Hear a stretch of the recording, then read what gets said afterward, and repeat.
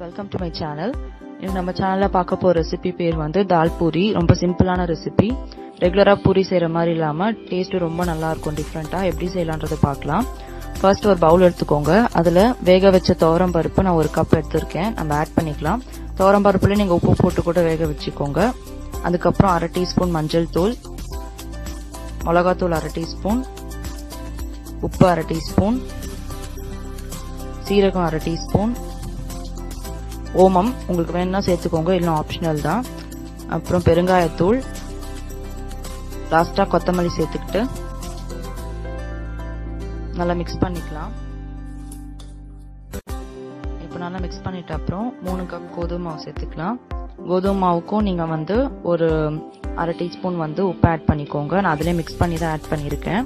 அதுக்கப்புறம் ரவை ஒரு ஸ்பூன் சேர்த்துக்கலாம். பூரி வந்து ரொம்ப கிறிஸ்பாக வரும் அப்போ தான் இப்போ மாவை வந்து எப்பவும் செய்கிற மாதிரி பூரி மாவு நம்ம பிசைஞ்சிட்டு ஒரு ரெண்டு ஸ்பூன் எண்ணெய் போட்டுட்டு நல்லா மிக்ஸ் பண்ணி வச்சிடலாம்.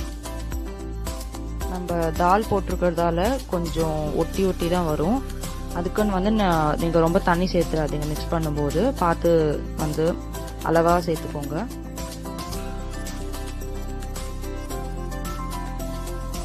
இப்போது இந்த சாஃப்ட்னஸ்ல இருந்தால் கரெக்டாக இருக்கும்.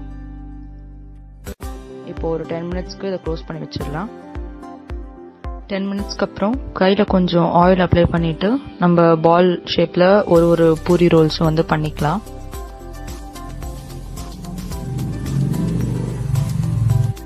அப்புறம் கீழே ஒட்டாமல் வர்றதுக்காக நம்ம கோதுமை மாவு கீழே கொஞ்சம் சேர்த்துட்டு மேலேயும் அந்த ரோல் மேலே பண்ணிவிட்டு நார்மலாக நம்ம எப்பவும் செய்கிற பூரி மாவு மாதிரி பண்ணிடலாம். எப்போவுமே வந்து சைடில் கொஞ்சம் திக்காக வந்தால் தான் வந்து பூரி உப்பி வரும். ஸோ ரொம்ப தின்னாக பண்ணிடாதீங்க லைட் திக்னஸ் இருந்தால் போதும். இப்போவே வந்து ஆயில் நம்ம சைடில் ஹீட்டுக்கு வச்சிடலாம். அதே மாதிரி மீதி இருக்கிற எல்லா ரோல்ஸும் பண்ணிடலாம். ஆயில் வந்து நல்லா ஹீட் ஆகிட்ட அப்புறம் போடுங்க. இல்லைனா வந்து பூரி உப்பாது. ஸோ நல்லா ஹீட் ஆகிட்ட அப்புறம் சைட்லேருந்து போடுங்க. சென்டர்லேருந்து போட்டிங்கன்னா உங்கள் மேலேயே தெரிக்கும். ஸோ பார்த்து பண்ணுங்கள்